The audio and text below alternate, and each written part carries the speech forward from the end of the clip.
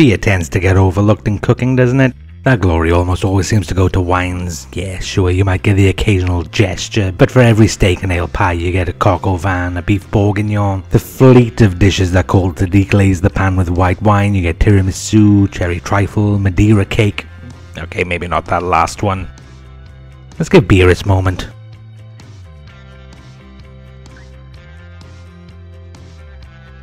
Kick off with a pastry, 220 grams of plain flour, 80 grams of caster sugar. Now, I want this to contribute to the theme rather than just being a vehicle for everything else. So, what goes well with beer that I can put in this? And I've been looking for an excuse to bake with this peanut powder for a while, and I think this is about as good a reason as I can expect to find. So 40 grams goes into the flour and sugar mix with 90 grams of cold butter. Lid on and pulse this together until it looks like sand.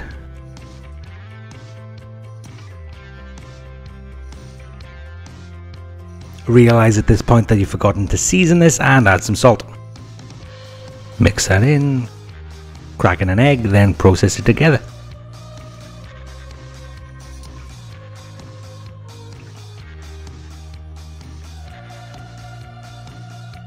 Empty this out onto some cling film, then flour it for no reason whatsoever because it's late and your head's fried. Wrap it up, then into the fridge to rest. This will keep for a few days, so if you need to make it ahead of time to make your life a bit easier, if, say, for a completely hypothetical example, you're trying to find time to make this sort of nonsense while juggling a full-time job and parenting a toddler, which is fortunate. Clear down and over to next day. Morning. Get this unwrapped and yeah, that looks pretty good. Right, now I need to flour the board. Here we are again, more flour, and roll this out until it's slightly larger than my lightly greased pie tin.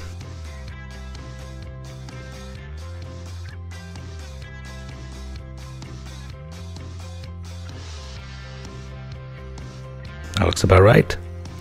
Pastry up. Pastry down. Gently easing the edges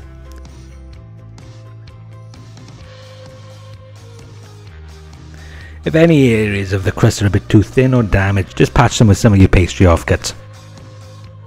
Greaseproof paper crumpled up to make it more workable, then use it to line the pastry. Baking beans. And blind bake this at 160 for 20 minutes.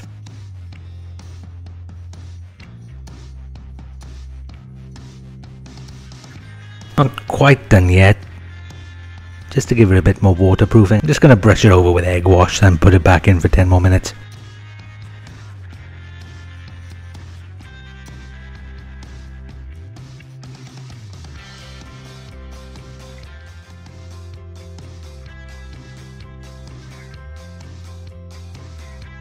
So, this is what happens when you don't dock your pastry. It means to stab it with a fork. The steam's got nowhere to go and you risk the base doming up like this.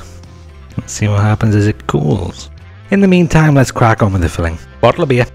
Ale, good strong flavour, should work well. Let me know in the comments what your beer of choice is, I'm curious to see what's popular. Into a pan, medium heat. Ah, too much head, said no man ever.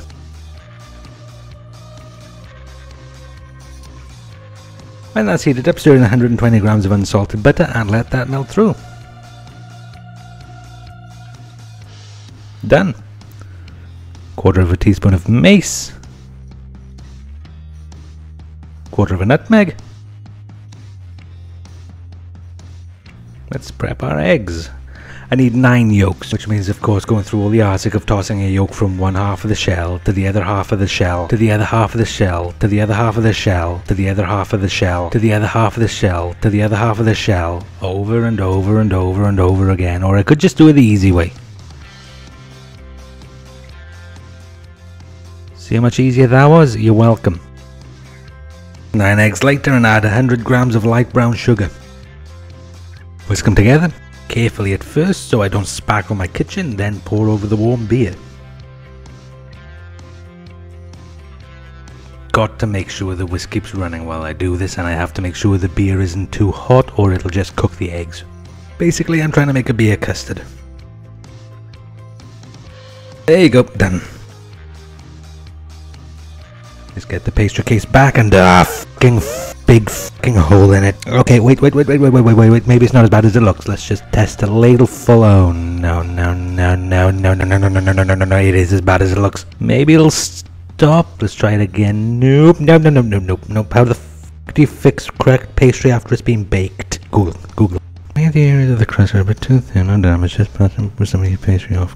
Alright, got it. Crisis averted. Let's pour on this custard. Do this in the oven to make my life a bit easier, then in it goes. 160, half an hour. 20 minutes in, let's have a look. I've just covered the pastry with foil to stop it getting too dark. Looks reassuring. Jokes aside, obviously putting lumps of cracked pastry in your tarts is going to cause more issues than it solves, but I think the time it would take a plug of raw pastry to cook would just burn the rest of it.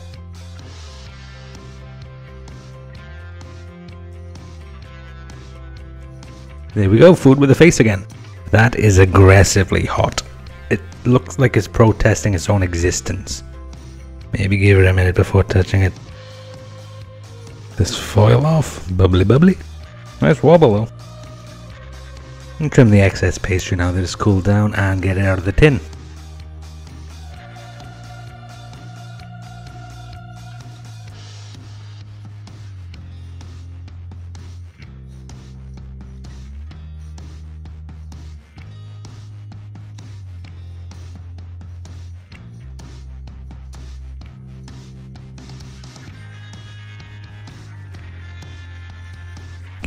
There, you.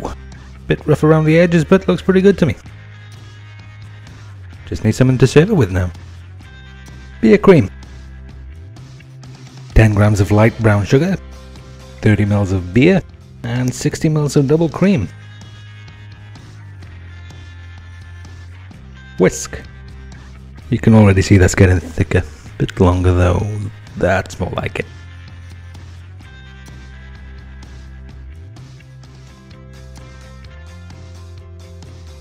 Happy Pie. See what this looks like on the inside.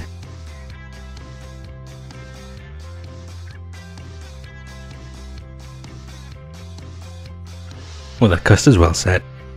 It's even strong enough to support that pastry plug so you know it's cooked well. Plate this up a few crumbed pretzels, a spoonful of that cream and some pork crackling. There we go.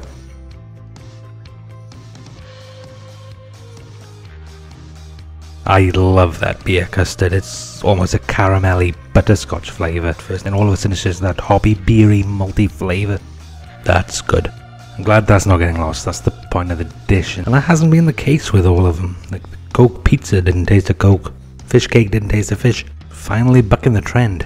The mace and the nutmeg don't really come through, but you can sort of find them if you concentrate. But they're not really the point of the dish. I could have filled this a bit more generously too, to be honest.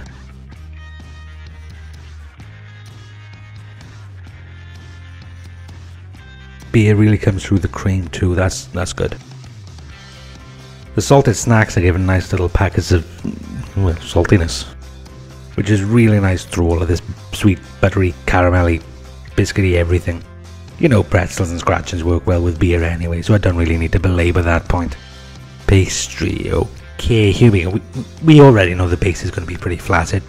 Pastry tastes good, it's buttery and importantly I can taste the peanut, so obviously it works with everything else on the plate. The dry parts around the edge are they're short, they're crumbly, they're, they're good, so it's not a complete write-off. There will come a day where I cook a recipe from start to finish with no technical issues, but it is not this day. And that's beer tart, absolutely gorgeous, poached pastry and all. If you do decide to try it yourself, I'd love to see if you have better luck with your tart cases than I did. So drop us a message or a photo over in the socials. Social links are in the description. If you like this video, hit the like button. If you want to see more, consider subscribing and clicking the notification bell. Thank you all for watching and until next time, get forked.